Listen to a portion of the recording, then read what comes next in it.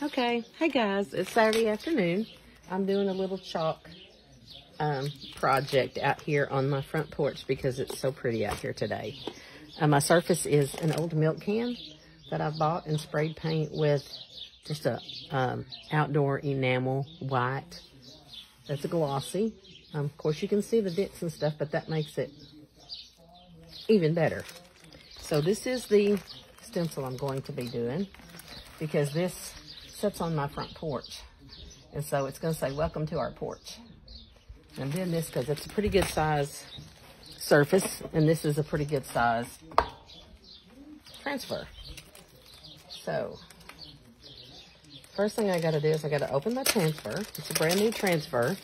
So the first thing I have to do, of course, is fuzz my transfer. When I'm doing this outside, normally all of my stuff is inside. So y'all have to bear with me. You're going to hear the traffic going by, the birds chirping, because I'm enjoying this weather while I can because we're supposed to have another big cold front come in. Not cold front, but storm front come in. Oh, don't get together like that. Be careful when you're moving your transfers if you've never fuzzed them because they will stick to each other and you don't want that. And so what I'm doing is I'm just fuzzing it. You can use a towel. You can use um, anything that might have fuzz on it.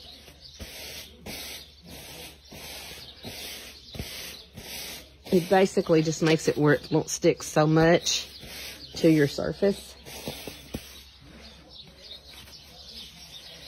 Okay. I'm going to take it and I'm going to center it as best I can because the R is like the center focus of the word, the center point. And then I'm just going to smooth my transfer out with my hands.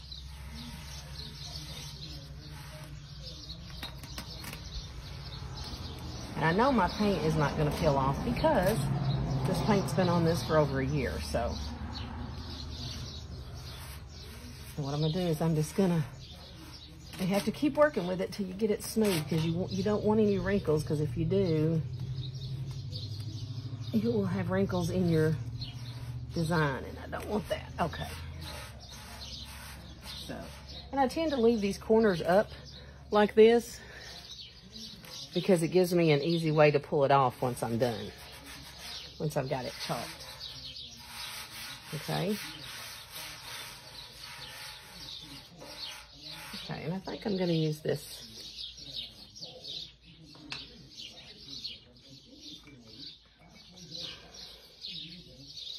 This Dixie Blue chalk paint that I've made up. This is my own chalk paste that I made, not chalk paint, chalk paste. And I just, um, you can Google a recipe on how to make your own chalk paste. And it's a little time consuming, but it seems to do better and last longer. If it gets dried out, you just spray a little water. And I'm just stirring it to get it to where it's like a cake batter consistency. So don't want it too thick, but you don't want it too thin because if it's too thin, then it'll bleed through your transfer. I buy some transfers. I make my own. Um, if I, there's a design that I see online, I take my silhouette and I can make my own transfers. That's a little time consuming too, but you know, it's still fun because I can get my own, I can even make my own designs. You know, create them in my silhouette studio, my design studio. And you can do it, you can do it with a Cricut too. And you can Google the video on how to make your stencils. Um, you just got to have, um, I think it's 631 vinyl. And then you get like a fine mesh that you can get off of Amazon is where I got mine. And I'm getting this stuff all over me, but I have my wet rag here. And I'm just having to get my paint, my chalk paste, the right consistency. So, and I just use popsicle sticks that you can buy. Any craft popsicle stick will work. And I just add water. And I use the filtered water out of my refrigerator because it keeps it from uh, molding. Okay.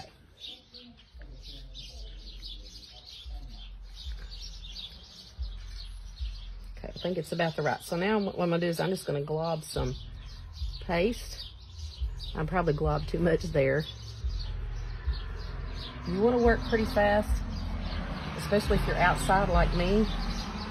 You're gonna work pretty fast. Get my,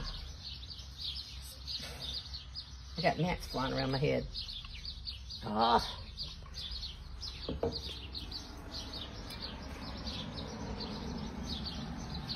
And I just take my, my squeegee and I just squeegee my paste, making sure I cover every part of the transfer.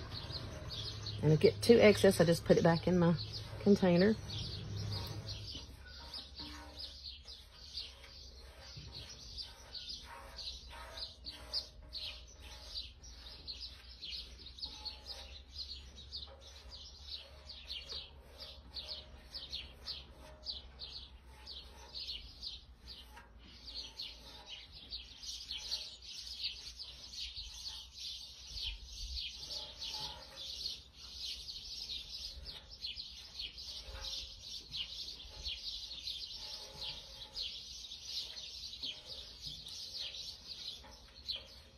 It's really easy to do.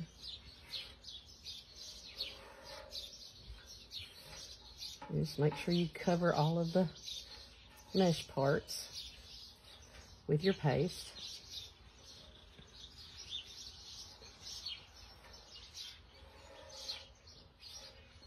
Because that's what makes your design.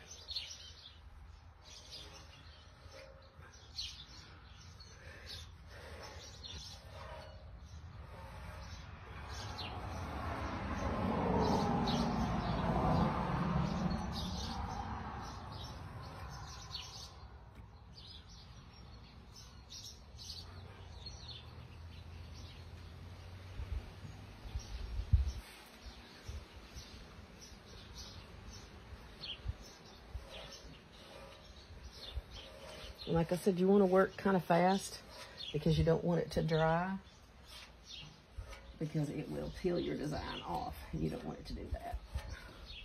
So you got to work kind of fast.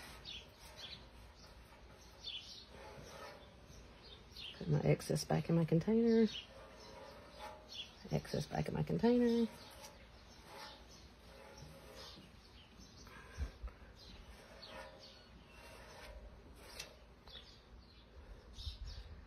And I put water. Put my lid back on my paste so it doesn't dry out. Wipe my hands because I got it all over my hands. And now I'm going to peel and reveal.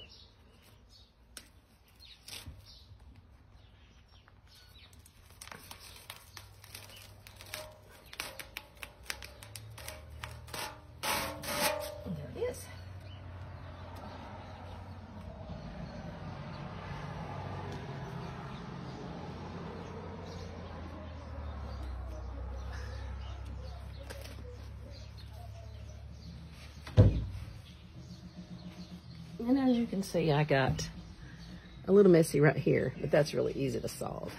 Just take a washcloth with the very tip of your washcloth and your fingertip and smooth it out. And there it is. Move this so y'all can see. Make sure I get all this off, but there's my welcome to our porch. See? There it is. Hope you enjoyed.